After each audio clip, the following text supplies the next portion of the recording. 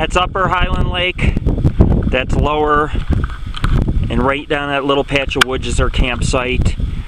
Folgers Peak, which tomorrow we're think we're considering climbing. I don't know. I mean, it's an easier mountain to climb, even though it's supposed to be a little couple hundred feet taller. It's all hard rock, and plus, you know, if you look, we can go right up that wash, right up that wash to the top. And if you look here, you see some cars parked below? This is where the iceberg, Carson Iceberg Wilderness starts. Generally, these peaks stay snow-capped most of the year. We hardly had any snowfall this year, so the Carson Iceberg Wilderness is much more warmer than usual. I think it's that way all over. I mean, I looked on the web, a lot of people have pictures of all snow-capped peaks in July and August, and it isn't that way here, but uh, the trail, if you look,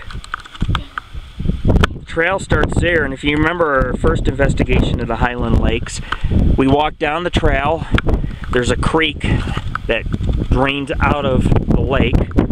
And you take this trail into this big woodsy valley. This is all the Carson Iceberg Wilderness.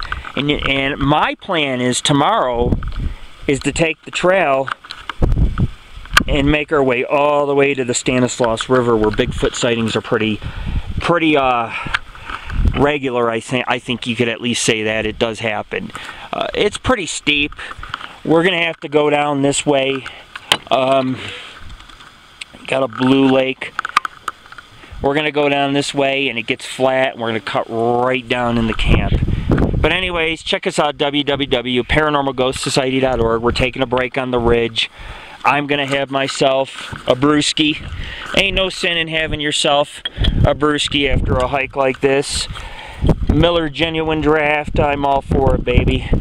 And uh, yeah, it's a cliff. Mm-hmm. Don't scare me like that, because I know it's not. I've seen the front of the mountain. I've photographed this mountain two times I've been here. But the, the difference is, is now I'm actually sitting on it.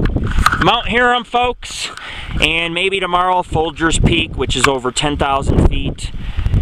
This is Lord Rick.